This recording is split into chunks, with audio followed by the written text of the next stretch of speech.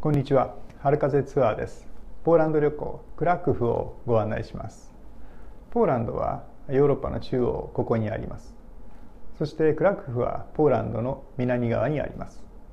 今回ご紹介するのは聖マリア教会その3クラクフのラッパです。聖マリア教会はクラクフ旧市街の中央広場に建てられた13世紀に建てられたゴシック様式の教会です。この写真を見てください。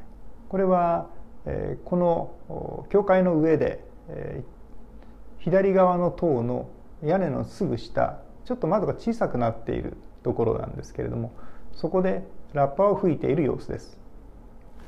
13世紀、えー、ポーランドはモンゴルに侵攻されました。日本の元寇の少し前です。その時ここで、えー、敵襲警報のラッパが吹き鳴らされましたがモンゴル兵の矢が吹き手の喉を貫きました。それを痛み現在毎生時1時間ごとにここでラッパが吹かれています。しかしそのラッパは中途半端なところで終わります。それがその喉を射抜かれたところと言われています。